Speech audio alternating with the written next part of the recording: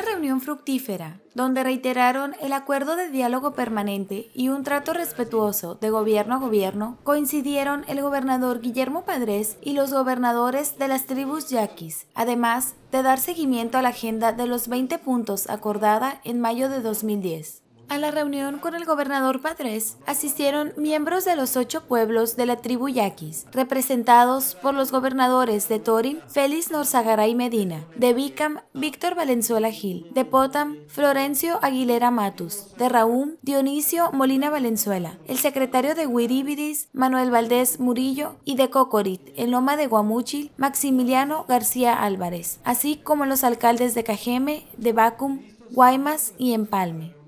El gobernador informó que viajará la semana próxima a México para hacer las gestiones y ofreció todo el respaldo de su gobierno en caso de ocuparse recursos estatales para este proyecto.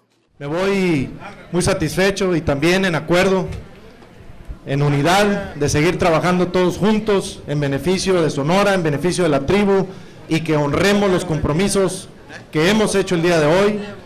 También lo veo de una forma muy fructífera y que prevalezca que los acuerdos que se toman aquí son los que vamos a comunicar.